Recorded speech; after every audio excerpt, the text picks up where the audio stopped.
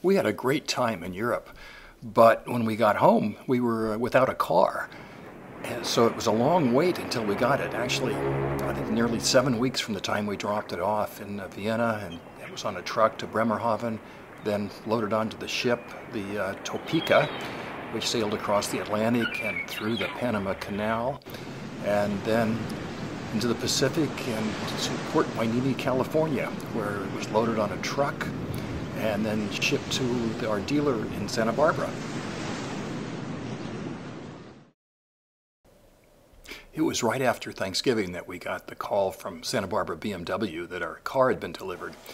So we quickly uh, made arrangements to get there, and we met with uh, John, who gave us some nice T-shirts, and then he walked us outside. And out in front into the pavilion, there was our car and it had a great big red bow on it, and it had still had the European license plate, which was a nice touch. And then we posed for the uh, official delivery photo, and then John uh, took us into the car, and we had to activate the uh, assist feature.